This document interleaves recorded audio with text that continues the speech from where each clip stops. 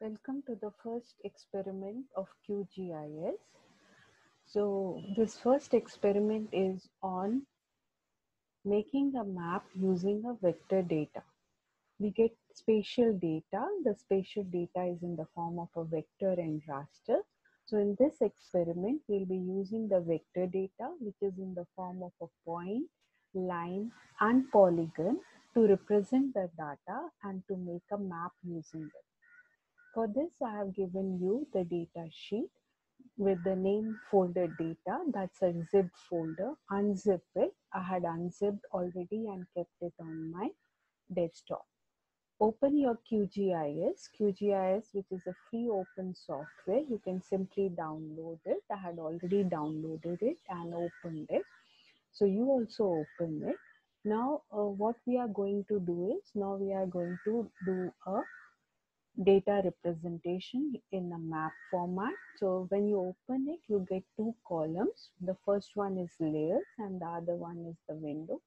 The layers where you see all the layers that you are viewing and in this window you see the uh, output of those particular layers.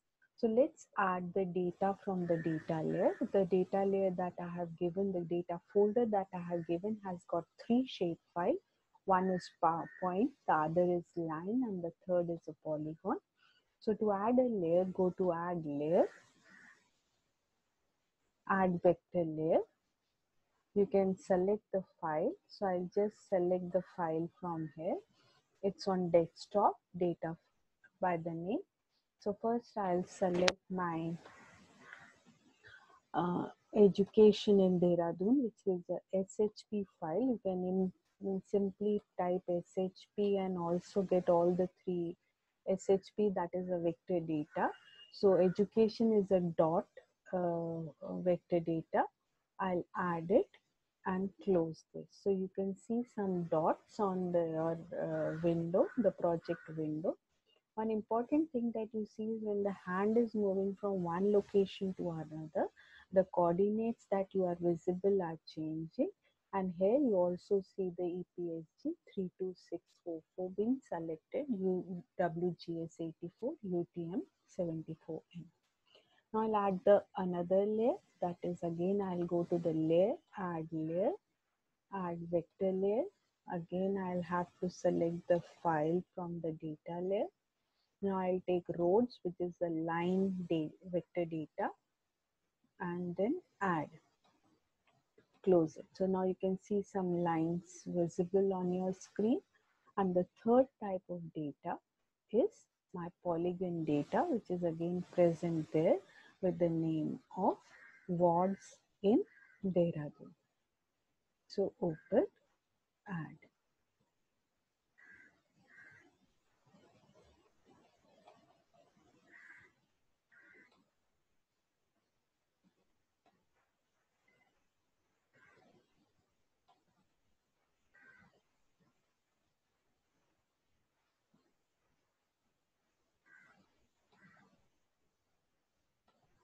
You need to select it correctly. SHP file only will open.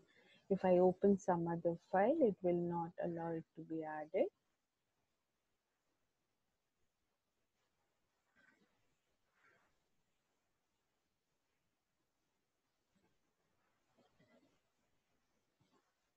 Sorry, I have come down to vector and that is why I was not able to add it. So it's a vector form of data so then only it will add.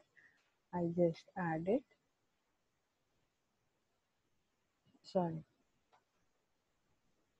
Wards shp open vector add. Yes I could add it. I could by mistake I added some unwanted line layers so I'll remove these layers one more. Now what do we see is that uh, these uh, line and dots are now not visible. So we can just reorder these layers in the order in which we have uh, actually uh, added them into our QGIS window. Now uh, the mouse you can use both right and left mouse and this hand to actually uh, reduce the size, enlarge it. Even you can use the zoom button here. Now, once this is done, this may not look very useful information because we don't know what uh, it represents or which area. So what we need to do is make it more meaningful before we make into a map. For that, just go to your layer and right click on it and go and open the attribute table. So this every dot that you see has a name of the school and the type of the school, whether it is higher secondary, private, degree, or, or secondary you can just double click and see the category. So it is secondary, private, higher and degree colleges. So what we will do is we'll use a different symbol to make it more meaningful. For that, we need to go do a right click, go to properties and in properties, you will see symbology. Now symbols is for different types. So we are using it as per the category. So we will select the category. Now which value we'll be categorizing is the type of the school. Symbol, uh, we can select more symbols or the colors. Right now we'll keep it as dot. Now what we'll do is go to classify. So as per the type, it will classify. You see all the four category and one additional, which can be removed. Okay. Now we also have an option of changing the symbol. If I double click on it and now you can select the various symbols, reduce the size for it so that it becomes more visible. Okay. Then uh, we can have some black dots also, say two. Okay. Then we can select more symbols so that now we know what is say a dot again size I'll make it 2 so that it's not occupying lot of space I'll take it as plus symbol and make it again 2 okay. Now what happens is we have already categorized the data as per the different format. Uh, then we can apply it and say okay. So we can clearly see that all the uh, schools are categorized as per the symbol. But still I find that it's not so meaningful because we are not able to tell the name of the schools coming in that category. So that also we can do by using going to properties again. And below symbology, we have the labels. Labels, presently it is no label. We will select a single label now what is the, uh, in the label, I want to select the name of the school. It's already by default selected. I can uh, make different settings of text, buffering, mask and other things. I'll simply apply and say okay. So I can see the names are already visible. Now what we have to do is the same thing we have to do with the roads. Roads is the form of a line form of a data. I will again check uh, how is it categorized. So it is categorized uh, by the name type, major, minor and highway. So we need to be using three different symbols for three different types of the uh, rows. So I'll just close this uh, attribute table, right click and go to the properties the way we did it for the dot symbols. Go to symbology. Again, we have a category. So I'll categorize the data as per what? As per the type of the row. And then I'll have to click on classify, remove this additional layer so three classification, as I told, I can have double click on it and change it. So what we will do is main row, we will select it. We can make it thinner so that Uh, uh, it is not occupying lot of space. Then we can select one more for highway is a topo road again we can yeah the width is okay then a minor road so we can take a simple solid line say of black color. Yeah. Okay. So I just clicked on the color which I wanted. I will simply say OK, apply and OK. Now you can clearly see the rows. Now we can even give labels to it. The way we did for education. We'll go to the properties. We'll go to the labels and select single label single label we will have the road names the label which we have. Now it may get merged with the name of the school so we can have buffering of it so that it is visible apply and okay. So you can see this buffered data is the name of the road so you are very much clear which is the name of the road and which is the name of the school now same thing we need to do with the ward. So before we do, we just need to check what it is. So what we find is it has a shape and the area, but no type of the wall. So we need not categorize it, but we can form a simple symbology can be used. So I'll go to symbology, single symbols only. Now I can uh, simple fill. So in that simple fill, we can have solid, or uh, dense or what kind of fill we want we can simply select it. If I want a cross and other thing I can do that. Uh, then uh, fill uh, color is there. Then uh, how do I want to fill it? So normally we use a gradient fill that gives a look good feeling. And then we can select it as grays. Okay then we can say apply and okay. So that is we can even could have selected the hashes which I showed you.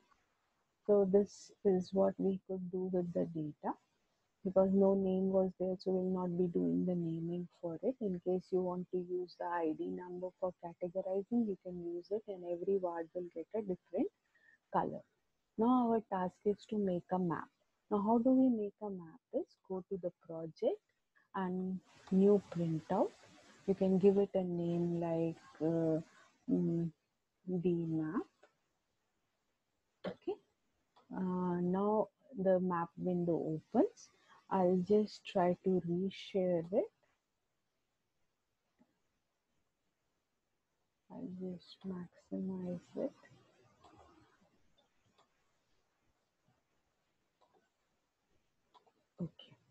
So my map window is visible. Now what we'll be using is the icons on the left hand side to make our map. So first we'll do a add a map. So just this symbol is for adding a map. We can just draw the boundary where we want to add our map. So automatically whatever is in our QGIS window gets added up here. Now what we can do is if we feel that it is not in the center, we have got two uh, move items. So it will simply move your uh, map and we can even move the frames. So that can be selected. Now what we have to do is suppose I want to add a label, uh, text label. So I can say, uh, so open, this open, so I can say map of Dehradun. So I can even select the font which I want to select, the size. I want to increase the size. Uh, where do I want to place it? Center in the vertical alignment middle. Okay. Now one more thing we can do when making the map is we can add certain things to this like grids. So what we'll do is go to the grid, add a grid. So just select the grid and modify. So you will get this window. So first thing is you should select a CRS. When you are selecting a CRS, the presently selected CRS is WGS 84, UTM 43, which is actually somewhere covering the area of India only in case you are not very clear about it, this WGS 4326 covers whole of the world and it is the best system suitable for it. So you can say that, select that and okay. Now this is an interval. So what we will do is we will select uh, degrees, how much we want as a um, difference between x and y and then we if we want a frame so yes we want a frame so zebra kind of a frame i want. And then you can go to draw coordinates. Yes you want to have the coordinates as per the mm, mm, grids that you have drawn. So that way we select and make it more meaningful. Now what else we can add it here is legends you have used some legends so this symbol is add legend so just select the area where you want to add legends. Automatically, whatever legends we have taken, it will add here. So what we have to do is place it properly. Okay. Now what else next is the scale. Yes, that's a very important part of our map. So we'll add a scale. The next is the north. So where do we place our north? So north is placed here. So we have added everything. What else is add any shape you want to add or some icon, some arrow to tell what is special about it. You can even add some pictures. Say if there are things famous, some monument is famous for it. You can simply add it here and insert that picture, copy and paste it here or uh, and create a picture. So right now I'm not adding it. So this is actually finishing your making of a map. So map is very useful in a sense that the data that I shared with such a big file. So if I want to share what information I have been actually focusing on, can be done through the help of a map with anybody and the file size is very small. So you can simply save this as a project or export it as image which can be actually um, this can be actually shared with anybody export as image or export as pdf i would suggest.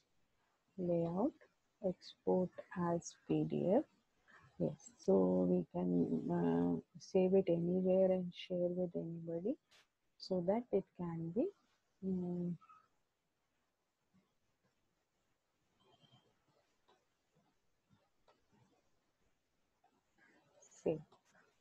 okay? So if you look that the size of this file is very small it's on the desktop. If i can share that with you.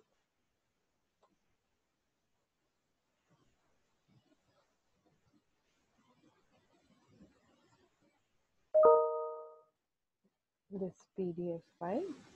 So it shows the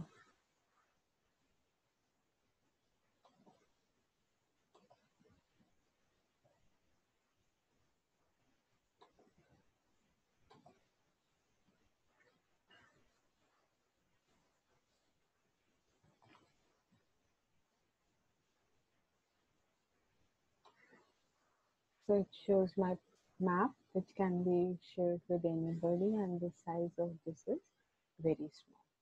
So thank you. This finishes our experiment number one.